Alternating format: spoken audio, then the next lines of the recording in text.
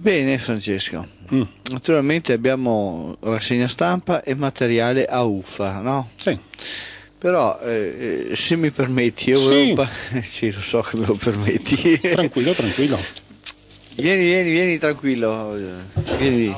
Ciao. Non c'è problema, eh, sta arrivando il nostro amico.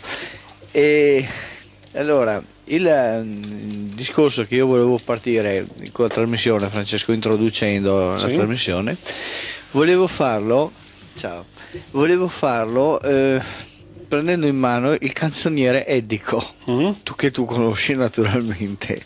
Sì, ma non so se la, non ho fatto tempo a leggere, forse, forse, non è la Voluspa perché la Voluspa è un attimino più striminzita, no. perciò questo è un altro testo che non conosco. Eh, allora, ecco, il canzoniere Edico praticamente sono eh, i più antichi canti islandesi che formano la base eh, della religione Asatru. Abbiamo due eh, due mm, libri fondamentali. Uno è questo, il canzoniere edico, e l'altro abbiamo l'Edda di Snorri, eh, l'Edda Snorri, di Snorri, che è stata praticamente scritta da, da, un cattolico, da un cristiano, che ha ripreso gli ultimi racconti degli, degli Asatru e, e, li ha scritti a, a, modo suo, cioè con la sua visione della vita. E questo canzoniere edico che praticamente il, sono gli ultimi testi, cioè l'ultima sistemazione della religione Asatru, eh, praticamente la religione vichinga, la religione di Odino, tanto per essere chiari, e l'ultima sistemazione mh, prima dell'avvento del cristianesimo, cioè già praticamente in periodo, in periodo, cristiano. Cioè praticamente i cantastorie, gli ultimi cantastorie, hanno preso la loro ultima versione e l'hanno messa per iscritto. Naturalmente eh, questa versione, questi canti del canzoniere edico sono infinitamente più antichi, cioè perché fanno parte proprio della gente del nord. E allora, per introdurre la eh, trasmissione, è abbastanza complesso leggersi, mh, mm, libro, anche perché usa molti nomi nordici, è difficile da seguire perché anche l'uso dei nomi dei, dei, delle popolazioni nordiche eh, era un uh, uso del nome magico, cioè nel senso che una persona poteva avere anche dieci nomi e infatti gli dei hanno molti nomi con cui si presentano le varie situazioni. Però eh, non è di questo che io volevo parlare. Eh, di tutti questi canti, quello che è più vicino a cose che riusciamo a comprendere anche noi, cioè abbastanza immediato, è la canzone dell'Eccelso la canzone dell'Eccelso non è altro che una canzone che dà quelle che sono le regole morali, le regole civili alle persone, cioè come comportarsi in una certa situazione, una certa situazione di vita. Allora Francesco io direi questo, io leggerei una dozzina di queste, di queste frasi, no? E sì. poi da là partiamo per collegarci con la trasmissione. D'accordo. Perché in realtà eh, questi mm, principi morali, no? principi comportamentali, sono estremamente importanti anche da capire eh, che cos'è il paganesimo, ma non tanto il paganesimo come noi lo diciamo oggi, no? ma com'era il paganesimo 1500 mm, anni fa e proprio per riuscire a vedere anche l'analogia di quello che hanno raccontato i cristiani degli antichi. Cioè, un, mi sembra che sia anche abbastanza utile, no? Che cosa dici Francesco? Sì. Allora, io ve ne leggerei e fate attenzione, c'è naturalmente sono dei canti, eh, canti ritmici, però eh, io ve lo leggo naturalmente in prosa. Eh, perdonatemi la pronuncia delle parole islandesi, ho qualche piccolo problema, però vedrete che la frase vi è molto chiara. E dalla can- canzone dell'Eccelso passo, parto dal paragrafo 125. Attenzione, chi parla è Odino, eh? Ti suggerisco, Lord Fafnir, accetta il suggerimento. Utile ne trarrai se tu l'accetti, bene ti porterà se tu l'accogli. Per tre parole non t'accapiglierai con un uomo peggiore di te.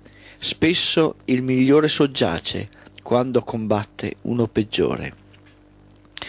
Ti suggerisco, Lord Fafnir, accetta il suggerimento, utile ne trarrai se tu l'accetti, bene ti porterà se tu l'accogli. Non fare il ciabattino né l'armaiolo se non per te stesso. Se la scarpa è malfatta o se l'asta è rotta, allora ti augurano il malanno. Ti suggerisco Lord Fafnir. Accetta il suggerimento. Utile ne trarrai se tu l'accetti. Bene ti porterà se tu l'accogli. Dovunque hai ricevuto un dono, un danno, consideralo danno e non dar pace ai tuoi nemici. Ti suggerisco Lord Fafnir. Accetta il suggerimento. Utile ne trarrai se tu l'accetti, bene ti porterà se tu l'accogli. Piacere dal male non trarre mai e preferisci il bene. Ti suggerisco, Lord Fafnir, accetta il suggerimento. Utile ne trarrai se tu l'accetti, bene ti porterà se tu l'accogli. Non guarderai verso l'alto nel mezzo della mischia, simile a furie si fanno i figli degli uomini, così non ti stregheranno. Ti suggerisco, Lord Fafnir, accetta il suggerimento. Utile ne trarrai se tu l'accetti, bene ti porterà se tu l'accogli. Se a tuo favore vuoi una buona femmina persuadere a dolce intimità e trarne piacere, fai belle promesse e traducile in realtà. Nessuno soffre a ricevere del bene.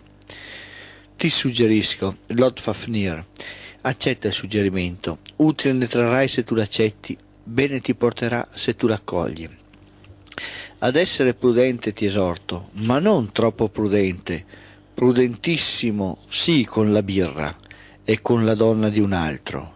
E terza cosa, stai attento che i ladri non ti giochino. Ti suggerisco, Lord Fafnir, accetta il suggerimento. Utile ne trarrai se tu l'accetti, bene ti porterà se tu l'accogli. Con scherno e derisione non ricevere mai né ospite né viandante. Spesso ben poco sa chi siede in casa di che razza siano quelli che vengono. Nessuno è così buono da non aver pecca né cattivo tanto da non servire a qualcosa. Ti suggerisco, Lord Fafnir, accetta il suggerimento. Utile ne trarrai se tu l'accetti, bene ti porterà se tu l'accogli. L'oratore dai capelli grigi, non deridere mai Quel che i vecchi dicono spesso è buona cosa, spesso da un, da un raggrinzito parole sensate provengono, che è appeso insieme a pelli e ciondola con pezzi di cuoio e dondola con, con caglie. Ti suggerisco, Lord Fafnir, accetta il suggerimento, utile ne trarrai se tu l'accetti, bene ti porterà se tu l'accogli. Non far cattiva accoglienza a un ospite, non metterlo alla porta, mostrati ben disposto con i miseri. Forte la spranga che deve scorrere per aprire a tutti. Regala un anello o ti sarà augurato un qualche malanno nelle membra. Regala un anello, in questo caso, significa fai il tuo dono all'umanità. Ti suggerisco, Lord Fafnir, accetta il suggerimento. Utile trarrai se tu l'accetti, bene ti porterà se tu l'accogli. Dovunque tu beva birra, invoca la forza della terra, che la terra porta via la birra e il fuoco invece la malattia. La quercia il, testes, il tenesmo, la spiga gli incantesimi, il sambuco le liti familiari, la luna invoca in caso d'ira, l'allume le malattie da morsi e le, ru- e le rune la sfortuna, la terra porta via il flusso maligno. Lo so che sono stato appeso, dice Odino, al tronco scosso del vento nove intere notti, da una lancia ferito e sacrificato a Odino io a me stesso, su quell'albero che nessuno conosce, dove dalle radici serga. Con pane non mi hanno saziato, né con corni potori. In basso spiando guardavo, trassi le rune gridando le trassi e ricaddi di là nove possenti incantesimi presi dall'illustre figlio di Boltor, padre di Bestla, ed un sorso presi di quel prezioso nettare attinto da Odererir. E questo è quello che vi leggo fino adesso. In pratica, che cos'è questa canzone dell'eccesso? È la canzone della vita, cioè cosa un uomo praticamente deve fare per rapportarsi col mondo in cui noi viviamo. Ora voi prendete questo che è stato scritto 1200 anni fa, 1300 anni fa e confrontatelo un po' con i principi cattolici. Io ve lo consiglio, è, la, è il canzoniere Eddico, edito da Garzanti, costo 9,50 euro. Sì, beh, pare che diciamo la letteratura nordica, io avrei qualche riserva su alcuni termini della traduzione, però logicamente io non voglio fare il purista di conseguenza, perché dico, pur avendo io una lettura giovanile dell'era di Snorri e di altre opere, ad esempio, che hanno quella mitologia appunto del nord, alcuni termini sarebbero da tradurre tipo l'utile come giovevole o benefico, mm. perché il termine utile eh, rientra un attimino in una visione più moderna, quasi ottocentesca. Eh, difatti alcuni termini nelle traduzioni vengono utilizzati non perché sono assonanza con l'antico, ma perché la nostra cultura è abituata a ragionare in questa maniera. Certo, no, ma Però, vale un po' per tutto, sì, sì, sì, no. tutte le traduzioni. Già Sombart nell'Ottocento parlando di certi termini diceva ad esempio la nostra cultura è contaminata dal discorso utilitaristico o dal, dal, discorso del mercato, dal discorso del denaro. Infatti diceva io non sono arrabbiato con te o te ne pentirai di quello che farai, ma la pagherai cara e che implicava già anche una connessione con certi termini di tipo mercantile. Perciò anche questa traduzione, da quello che io ho letto, ha delle pecche, però è importante perché dimostra una cosa ben semplice, che Odino, pur essendo al vertice del Pantheon, non è stato quello che impone, dice io te lo consiglio, eh, ti può essere benevolo, ti può essere d'aiuto, eh, questo non è la mia imposizione, sei tu che sceglierai di fare questo.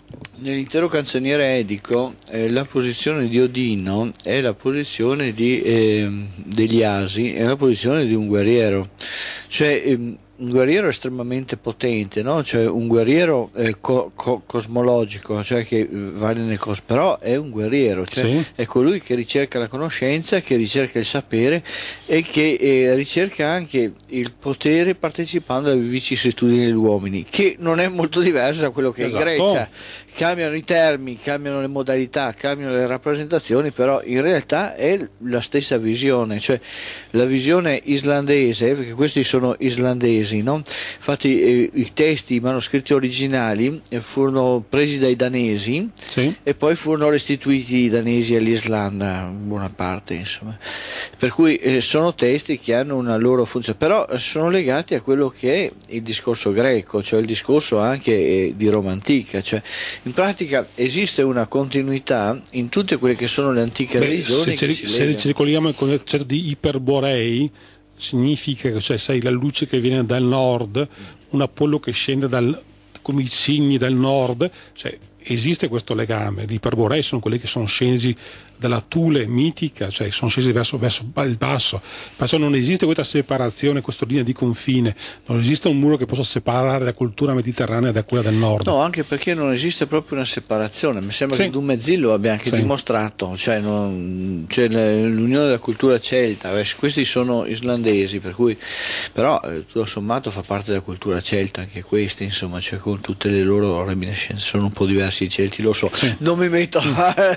però... Eh, tanto per riuscire a, anche i germani sono diversi, cioè chiaramente se dopo gli dici eh, so, ai nostri amici tedeschi una roba del genere si mettono sì. i capelli, però eh, è chiaro che quando dopo vai a scavare il principio, cioè la rappresentazione del principio, ti accorgi che è uguale, cioè quella che era per esempio le battaglie dei benandanti non erano altro che una riproduzione delle battaglie, delle battaglie di Odino delle battaglie se tu pensi di... già al concetto di Ragnarok in cui gli dei si scontreranno, sai, soprattutto Tartariasi e sì, Ivani. Esatto. C'è lo scontro finale in cui gli dei si annienteranno per distruggere gli esseri malevoli, in realtà sapranno che avranno dei figli che porteranno verso una nuova età dell'oro, sanno che il Ragnarok, lo scontro degli dei non è definitivo, no. però ci sarà la loro morte, ci sarà un'epoca ben diversa, cioè quando ci sarà l'assalto, sai, all'arcobaleno sì. sono le divinità che proteggeranno esatto. questo ponte dall'assalto, però molte di queste divinità saranno destinate a scontrarsi con Loki, con, con Lupo Fenir,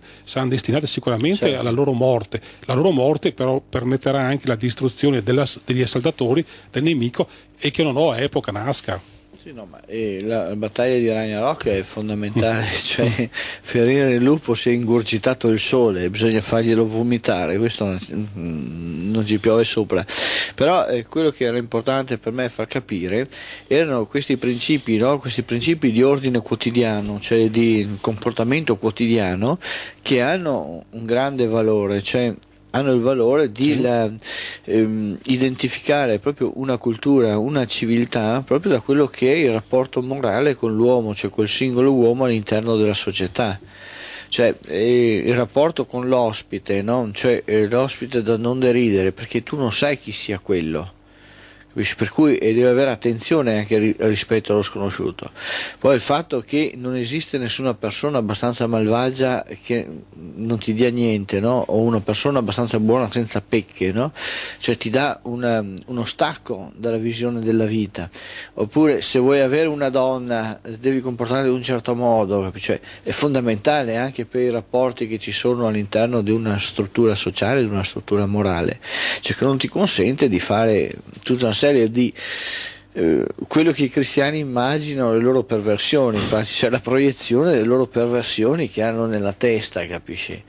E, e questo è importantissimo perché questo tipo di canzoni in realtà, eh, non avendo una cultura scritta se non attraverso le rune, ma eh, le rune erano limit- molto limitate, cioè era un, un, uso magico che se ne faceva più che un, un, uso di scrittura.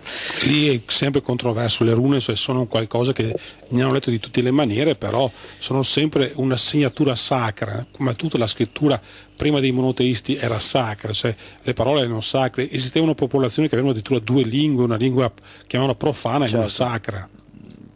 Però è importante sapere che esistono, sono mm. esistite queste cose, cioè per niente l'Islanda non le ha voluti indietro questi testi. Cioè, sì.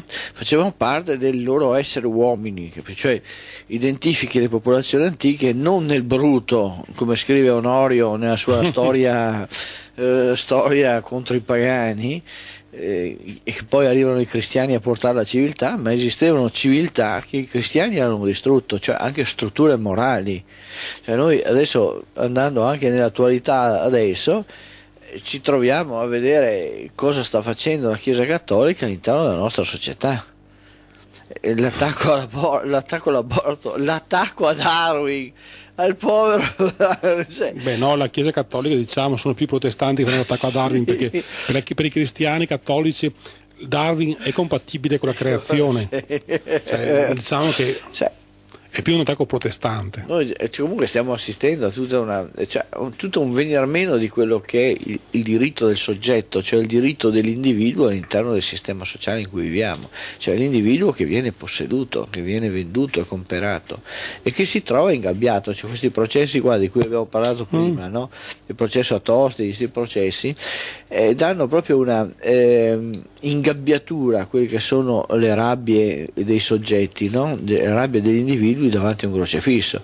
Arrabbiatura che la Francia invece ha risolto in ben altro modo, cioè semplicemente li ha levati dicendo ci sono i principi della Francia. Sì. Vuoi che diamo un, un piccolo esempio, Vai. Claudio? Era, sapete che una caratteristica eh, dei, dei monoteisti è sempre quella della violenza, dell'imposizione, soprattutto sui bambini.